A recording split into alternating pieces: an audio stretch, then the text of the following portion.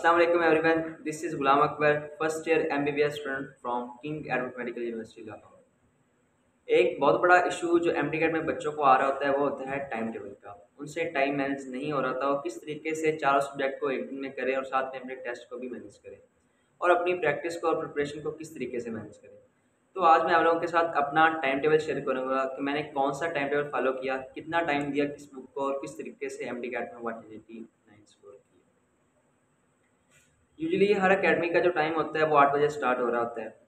सबसे पहले हमारी अकेडमी होती थी आठ से लेके एक बजे तक, जिसके दौरान हम अकेडमी में लेक्चर लेते थे। जो लेक्चर होते थे, उनको नोट करते थे, अपना टेस्ट सॉल्व करते थे और एक बजे तक हम लोग वहाँ से फ्री हो जाते थे। हम अकेडमी के साथ ही हमारा हॉस्टल होता था। आठ से एक हम अपनी अकेडमी लेने के बाद हॉस्टल चले जाते थे। एक से लेकर आप साढ़े तीन बजे तक ढाई घंटे के अंदर आप सोना चाहें तो सो जाएँ रेस्ट करें, अपने दिमाग को फ्रेश करें, अपना खाना खाएँ, नमाज़ पढ़ें और जितना आप अपने दिमाग को फ्रेश कर सकते हैं, वो कर लें। अब आपने जब अढ़ाई घंटे का रेस्ट ले लिया होता है, आपने नमाज़ वगैरह पढ़ के अपने दिमाग को फ्रेश कर लिया होता है तो फिर आप अपनी प्रिपरेशन स्टार्ट कर दें आप सबसे पहले उस सब्जेक्ट को करें जिसमें याद करने वाला काम कम हो और जिसमें कॉन्सेप्ट वाइज या फार्मूला वगैरह ज़्यादा हो।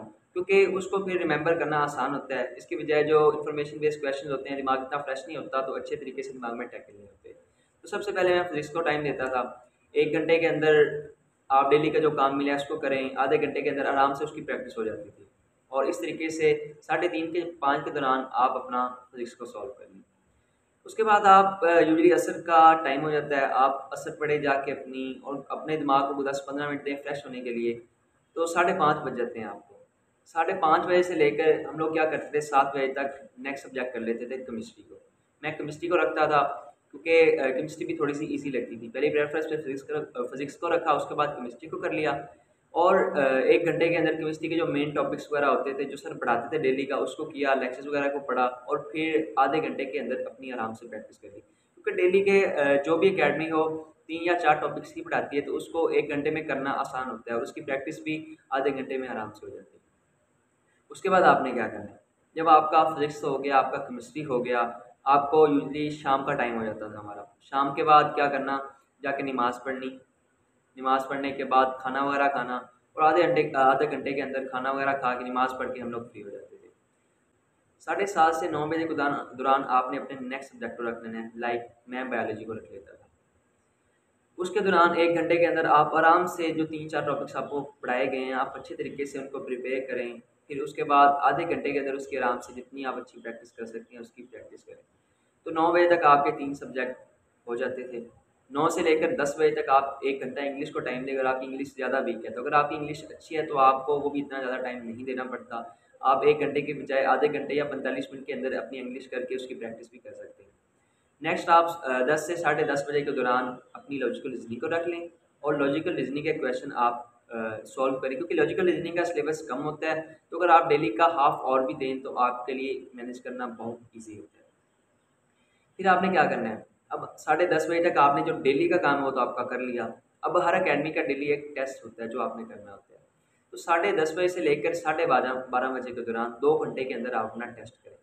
अगर आप डेली अपना काम करते रहेंगे तो एक वीक के अंदर, एक वीक के बाद जब आपका टेस्ट आता है तो आपने ऑलमोस्ट उसका सिलेबस किया होता है। तो आपने दो घंटे में उसको रिवाइज ही करना होता है। तो दो घंटे में रिवाइज करना एक चैप्टर को कोई मुश्किल काम नहीं दो घंटे के अंदर आप अपने उस चैप्टर को रिवाइज करें और उसके बाद उसकी प्रैक्टिस दो घंटे के अंदर करना चाहे तो कर लें। तो साढ़े बारह बजे तक, बारह बजे तक आपका ऑलमोस्ट सारा काम हो जाता है। इसलिए आप सोचें। सुबह उठें, फजर पढ़ें, फिर कोई एक घंटा अगर सुबह आपके पास टाइम बच जाए अकेडमी के टाइम से पहले तो उसके अंदर आप अपनी जो चीज़ें रह गई थी या आपका जो टेस्ट था उसमें कोई कमी है तो उसको आप मैनेज कर लें उसके बाद अकेडमी जाएँ, इस तरीके से आप अपना स्केजल को फॉलो करें। ये सारा स्केजल मैंने बनाया था अपने लिहाज से, क्योंकि मेरी सब्जेक्ट की प्रेफरेंस और थी, मुझे और सब्जेक्ट ईजी लगते हैं तो आपको कोई डिफरेंट सब्जेक्ट ईजी लगते होंगे। तो आपने क्या करना है, आपने इसको अपने तरीके से मैनेज करना है, कौन सा सब्जेक्ट पहले रखना है, कौन सा बाद में रखना है, ये सब आप पे डिपेंड करता है मज़ीद जो सब्जेक्ट आपका वीक है और जो आपका सब्जेक्ट स्ट्रॉन्ग है, आप उसको इक्वल टाइम नहीं दे सकते। तो जो सब्जेक्ट आपके वीक थे, उसको ज़्यादा टाइम दे लें, जो आपका स्ट्रॉन्ग था, उसका टाइम निकाल के। तो इस तरीके से आप अपने वीक और स्ट्रॉन्ग के लिहाज से इन टाइम को मैनेज कर लें और आपने कोशिश करनी कि आप एक दिन के अंदर इतना काम करके सोएँ बाकी नींद भी पूरी रखें, नमाज़ पढ़ें तो उससे आपके लिए बहुत हेल्प होती है। और बाकी अगर आपको कोई इशू हो तो आप कमेंट सेक्शन में पूछ सकती हैं।